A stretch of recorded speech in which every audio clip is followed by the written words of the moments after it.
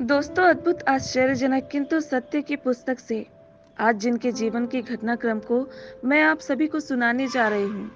उनका नाम है मधेश्वर प्रसाद सिंह, जो पटना, बिहार के रहने वाले हैं।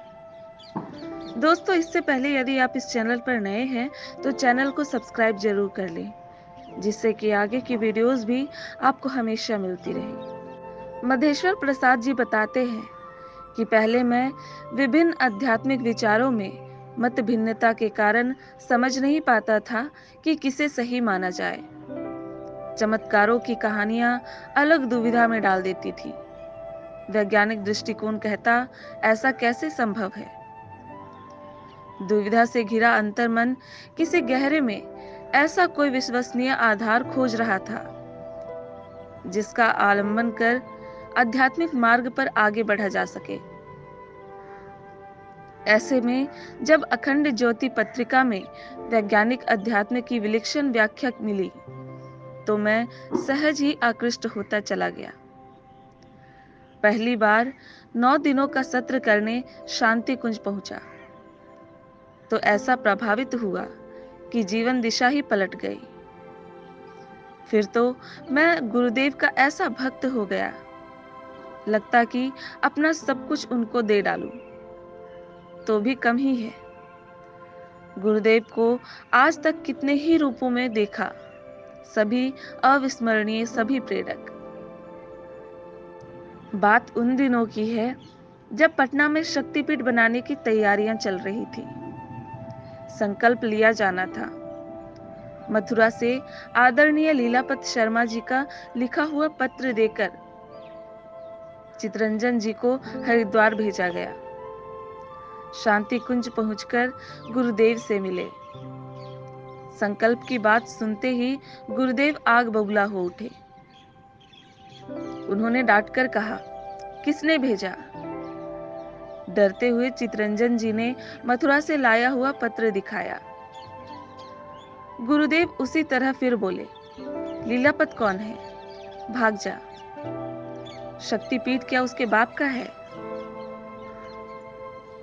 उसने लौटकर सारी घटना बताई। मैंने सोचा, मैं ही जाकर देखूँ। हो सकता है उस समय कुछ वैसा कारण हो गया हो। इस बार मैं स्वयं शांति कुंज पहुँचा। सबसे पहले जाकर आदरणीय वीरेश्वर उपाध्याय जी से मिला। उनसे सब बातें बताई और आग्रह किया। कि संकल्प के लिए समय निर्धारित कराएँ। उन्होंने गुरुदेव से भेंट कर संकल्प का समय ले लिया। अगले ही दिन का समय मिला था। सुबह सुबह तैयार होकर मैं गया। लेकिन गुरुदेव ने मेरी तरफ़ देखा नहीं। मेरे साथ उपाध्याय जी भी थे। मैंने उनकी तरफ़ देखा। वे भी हैरान थे। काफ़ी समय बीत गया। तो उन्होंने गुरुदेव का ध्यान आकृष्ट कराया। ये संकल्प के लिए आए हैं। गुरु जी ने बिना मेरी ओर देखे ही दो टुक जवाब दिया। संकल्प नहीं होगा। इतना कहकर मौन हो गए। असमंजस की मनस्थिति में मैं वापस लौट आया। मैंने उपाध्याय जी से पूछा, कैसा टाइम लिया था आपने? वे कहते तो क्या कहते? वे खुद ही हैरत में थे। मैं समझ नहीं पा रहा था कि अब आगे क्या करूँ। लौट जाऊँ या एक बार फिर प्रयास करके देखूँ? अगर बिना संकल्प किए लौटना पड़ा तो लौटकर लोगों को क्या जवाब दूँगा? सच सच बता भी दूँ तो संकल्प के लिए मना करने का कारण पूछा जाएगा। तो क्या कहूँगा? लोग तो यही सोचेंगे कि मेरी तरफ़ से कोई लापरवाही बरती गई है।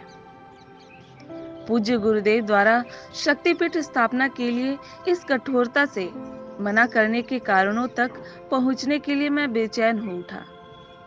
शुरू से आखिर तक सभी प्रयासों की समीक्षा की।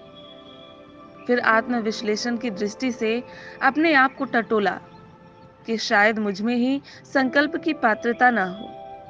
जिसके कारण कार्य बाधा आ रही हो। गुरुदेव के क्रोध का कारण मैं हो सकता हूँ। यह सोचकर मेरा अंतर मन विचलित हो उठा। मन ही मन उनसे अनुनय विनय करने लगा कि कोई गलती हुई है तो बता दीजिए। मुझे तो कुछ समझ नहीं आ रहा है। मुझे बहुत दुखी देखकर उपाध्याय जी ने समझाया, निराश मत होइए। अभी संकल्प का समय नहीं आया है।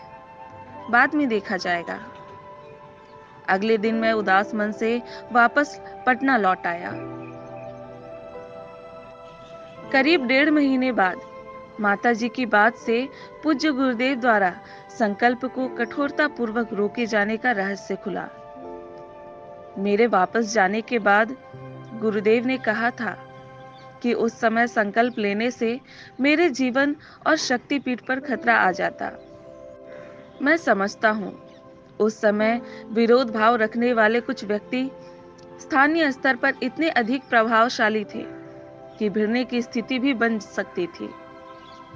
अधिभौतिक दृष्टि से तो मैंने इतना ही देख सका।